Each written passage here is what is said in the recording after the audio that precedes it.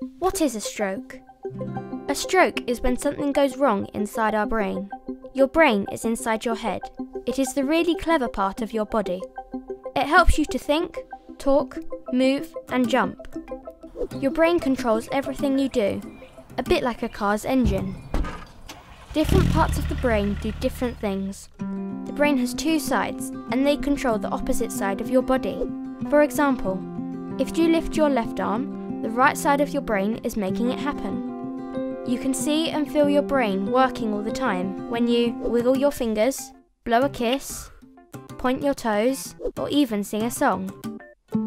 The brain needs oxygen and energy to work well, a bit like how a garden needs water.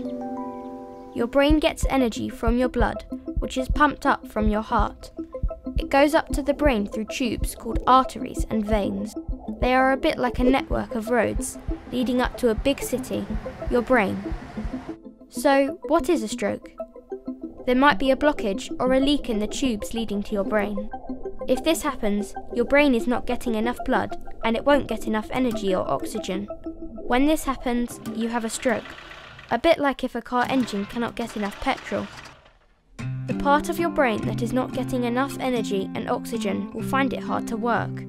If it is the talking part of your brain, it may be hard to get the words out. If it is the moving part of your brain, it may be hard to move your arm or leg.